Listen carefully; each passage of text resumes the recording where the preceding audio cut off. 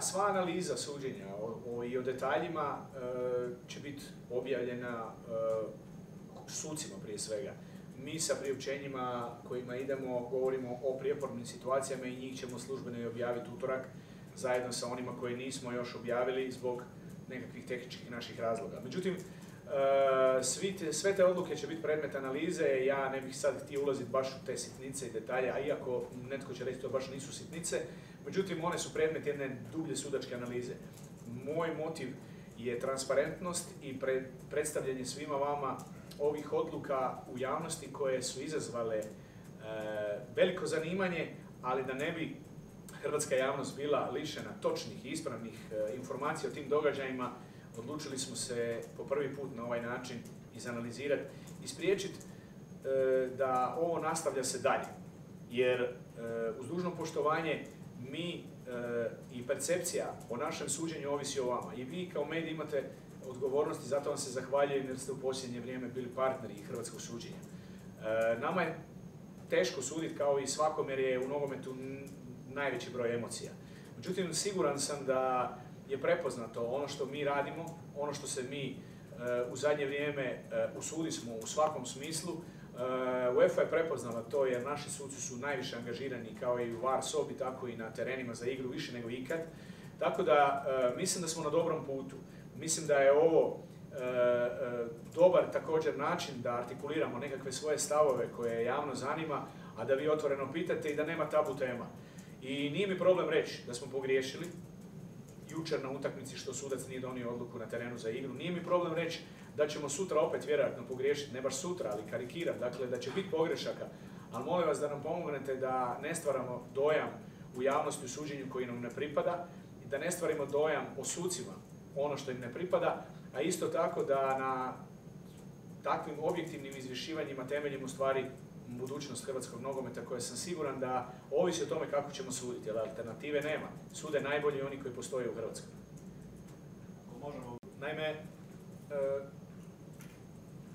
teško se mogu složiti sa činjenicom svatko ko radi naravno griješi i radi određene poteze koji možda nisu baš najbolji i savršeni. Ali ako, ako stavimo na, na, na, vagu ili ako stavimo u analizu suđenje u razdoblju, evo od kad sam ja predsjednik, e, i određivanje sudaca, mogu reći da smo, da smo uspjeli. Da, bilo je možda nekih e, pogrešnih odluka povjerenika za određivanje sudaca kao i mene kao predsjednika. Pardon, međutim, svakako e, moram reći da povjerenik za određivanje sudaca koji ima ono, izvršni odbor je e, potpuno samostalan u odlučivanju ili određivanju sudaca koji će suditi na određenim utakmicama.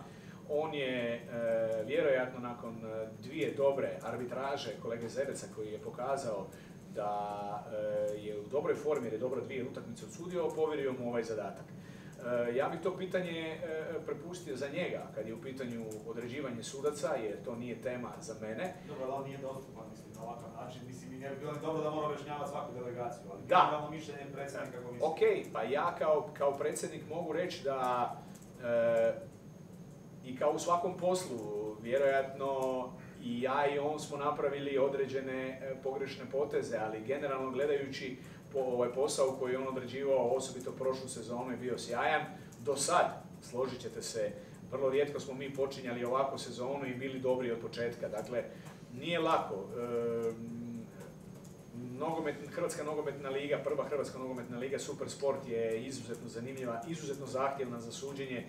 E, ekipe su podjednake, oni koji su u donjem dijelu, dijelu ljestvice pobjeđuju oni koji se bore za prvaka. E, ima pretendenata za prvo mjesto više, ima i oni za ispadanje koji će se boriti. Dakle, vrlo izazovno. Tako da taj posao je izuzetno težak, izuzetno zahtjevan, a e, o analizi određivanja će komisija sigurno u budućnosti napraviti i svoj nekakav analitički rad. Komisija nogometnih sudaca potpuno neovisno i samostalno odlučuje o svim odlukama koje se tiču suđenja.